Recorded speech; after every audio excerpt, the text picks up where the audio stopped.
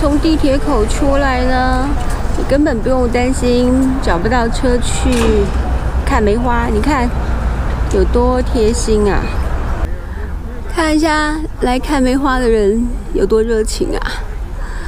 哇，大家都很开心啊！其实这也不错的一个度假项目，要夸一夸就是公交车公司，因为在一出地铁口就有很明显的指示，然后呢，你上车之后，它以最近的线路、最快的速度，哇，就到了。那么一年一次，再忙也要来。你看周围有多少人在拍？其实呢，对香雪公园的认识啊。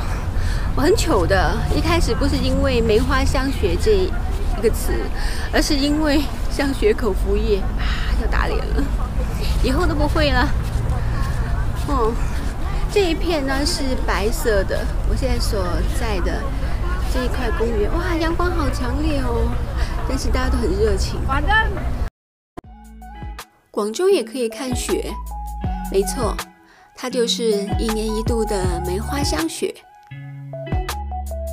广州的罗岗香雪源于宋代，这里种植梅花的历史已经有八百多年了。每当岁末年初，罗岗这里十里梅林的洁白花瓣随风飘落，犹如瑞雪翻飞。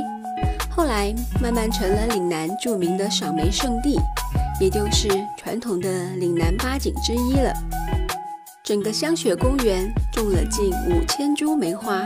品种大概有六种，分别是青梅、绿萼、美人梅、垂枝梅、朱砂梅和宫粉。花期大约三个礼拜。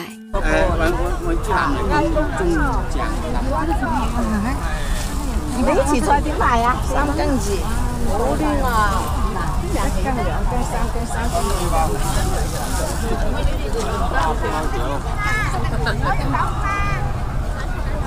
你顺便可以不用去增城，就买到了增城的菜心。哇，我当时跑很远去的哦。我差点忘记我是来看梅花的了。这里还有一条美食街。不要太丰富好不好？哇，我被旁边的美食街吸引了，差点忘记我是来干嘛的。终于呢，我现在才到了主场，这是主场地哦，就是这里，喏，香雪公园。到这边之后呢，我觉得主角不是梅花，你看，主角是人呢。但是如果留意的话，你也会有。我意外的发现，比方说，如果没有那么多人，这些水山会不会很漂亮？其实呢，很多人会说哈，花又没有那么想象中那么多，有那么拥挤的人流，然后跑过来看，哎，一定会有人这样说的啦。凡事都有人不同的感觉嘛。但是我觉得呢，呃，一年就这么一次，哪怕你就是去感受这个气氛，也应该来一来。这就很像我们小时候去春游那样子的一种感觉，就是时间到了要去做什么样的事情。很多蜜蜂，然后呢，这里有养蜜蜂的地方，有一些蜂箱。哇，第一次如此近距离的。接触它们，香雪的蜂蜜哦，香雪牌。下次你不止可以喝到香雪口服液了。哇，这一朵是我在这边看到的唯一的开花的一朵梅花。他说我叫晚香，这边花没有那么多，几乎都没开啦，但是人也少啊。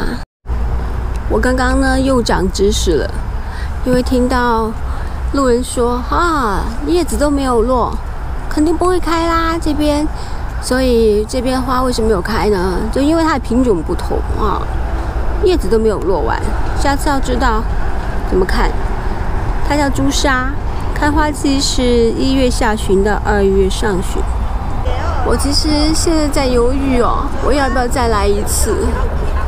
就是在一月末的时候，因为呢，我刚刚听到一位阿姨说，很多漂亮的花都没有开哦，比方说这一种朝堂宫粉。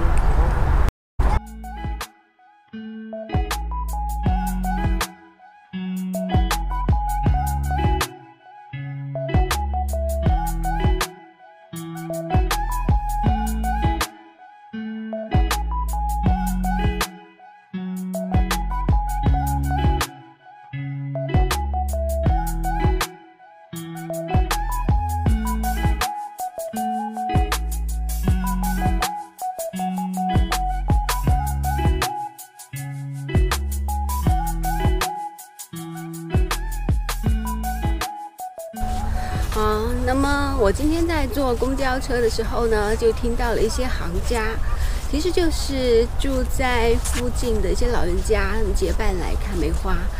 那么车在经过这一片梅花林的时候啊，哇，他们一下子就说这还没有到高峰期啊，不是最漂亮的时候。其实这些资讯很有用，在我眼里呢，哎，原来梅花已经开的都差不多了，我以为就是最漂亮的了。哦，但是呢，他们就告诉你说还有更漂亮的，呃，会毛茸茸的挂满了枝头。所以，如果有空的话，我还想再来看一次，或者明年呢，嗯，大家最漂亮的时候一定要来看一看。